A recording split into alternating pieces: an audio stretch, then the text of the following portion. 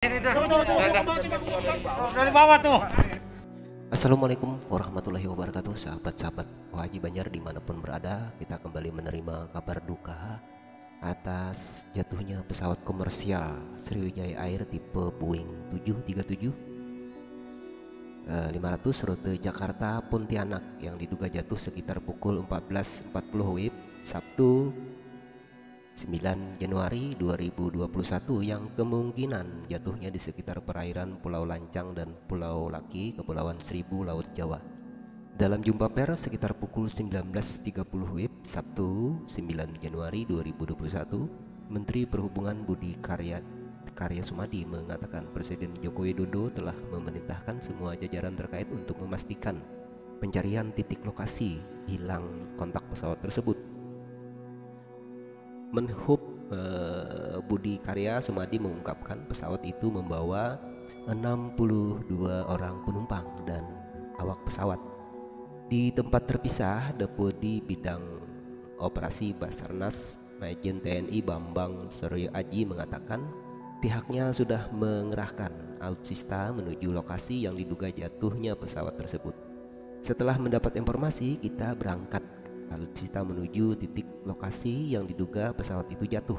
Jadi posisi pesawat setelah lost kontak, hilang kontak, berada di antara Pulau Laki dan Pulau Lancang, kata Bambang Surya Aji dalam jumpa pers sekitar pukul 19.25 WIB tadi.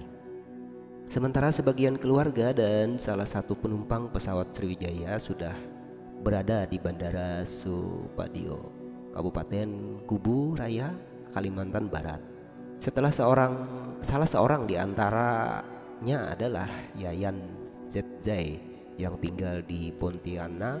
Dia mengaku menunggu istri dan tiga anaknya. Sambil terisak ia mengatakan kepada wartawan di Pontianak, Widya Widyangsih kepada BBC New Indonesia ada empat orang anggota keluarganya, istri dan tiga anaknya yang ikut di penerbangan tersebut. Nah, ditemukan benda-benda yang diduga serpihan pesawat oleh tim Basarnas ya.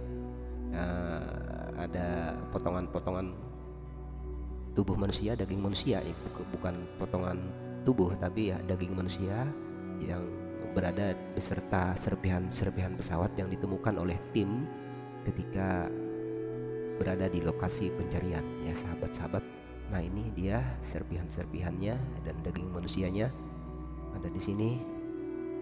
Uh, sudah dipastikan pesawat ini jatuh dan korban sudah pasti akan uh, secara logika sudah dipastikan akan meninggal semuanya kecuali ada yang melompat sebelum pesawat itu meledak karena pesawat dikatakan diinformasikan oleh warga nelayan sekitar terjadi ledakan yang diduga ledakan itu adalah sumber bersumber dari pesawat yang jatuh tersebut.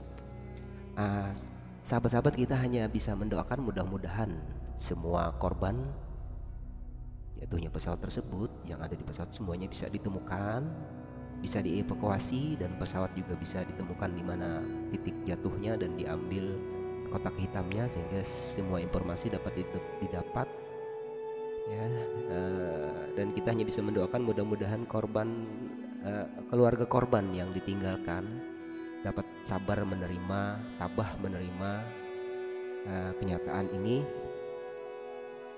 Karena semuanya tidak akan menginginkan kejadian ini terjadi sahabat-sahabat ya. Dan ini adalah sebuah musibah yang mudahan digantikan oleh Allah Subhanahu wa taala dengan yang lebih baik. Nah ini pesawatnya Sriwijaya Air yang jatuh tersebut sebelum berangkat dan ini rute perjalanan penerbangannya nah, dan hilang kontaknya setelah lepas dari pantai ya.